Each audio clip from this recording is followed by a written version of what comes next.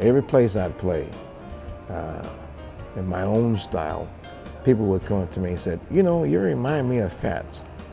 Uh, so much that even people from New Orleans um, said that they that I reminded them of Fats, and I had such a great love for Fats anyway. Uh, never tried to, to to imitate him, but it just sort of came out with, a, I guess, a sort of a, a New Orleans flavor, and um, and playing the piano that was an important thing for for me, uh, and the similarities that they had that I sound like Fats Domino. You made me cry when you said, Good boy, ain't that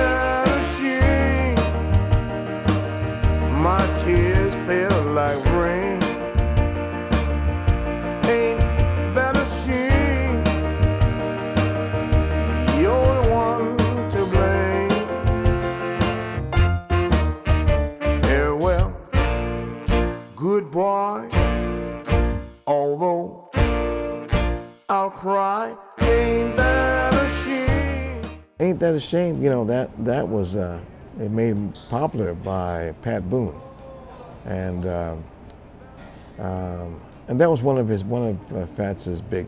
I mean, he's Fats Domino had so many hit songs that uh, I believe that uh, in the '50s, early, um, let's say mid mid '50s, um, Fats outsold all the other uh, R&B uh, bands, or artists, uh, other than um, uh, Elvis. He was the only person that actually sold more records.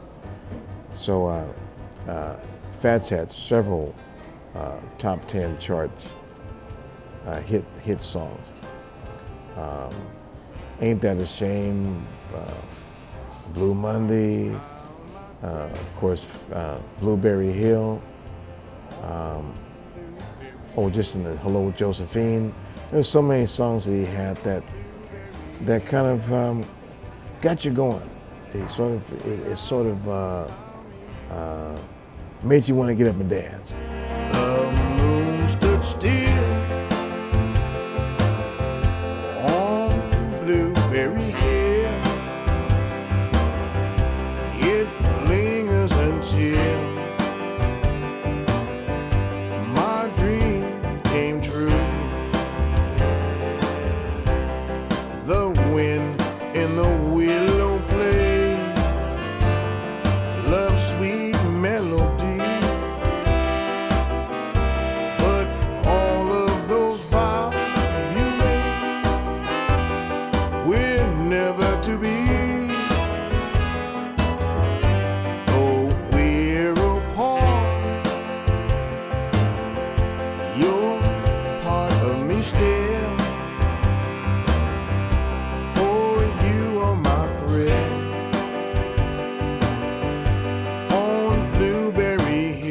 Show we're going to do tonight is a tribute to Fats Domino.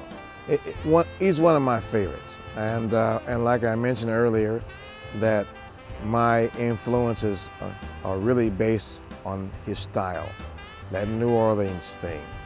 Uh, tonight, we're going to be doing a tribute to uh, Fats Domino and his music uh, with my seven-piece band. Um, you'll enjoy it. I know you will. You'll dance as you'll see folks around dancing. At the end of the show, it's an old New Orleans tradition. They call it second line. And that's when everybody gets together, our conga line, second line, pretty much the same thing. We're all gonna get together and we're gonna form a line all the way around this beautiful area here. And people are gonna be involved in it. And that's a tradition. Everybody gets involved, everybody becomes the musician and be part of the parade, the party, the enjoyment, the excitement. They become actually get off their seats and join us. And that's that's the whole thing in that, that New Orleans second line. You get everybody forming a line and following us through all kind of places. Well, I'd like to thank you all for coming out.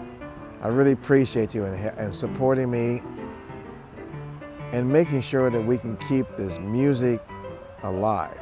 And my, my, my mission is, is to keep that piano alive in the music, in the blues, rock and roll, uh, and gospel, because that's been a basic foundation. But I want to thank you very much for spending time with me.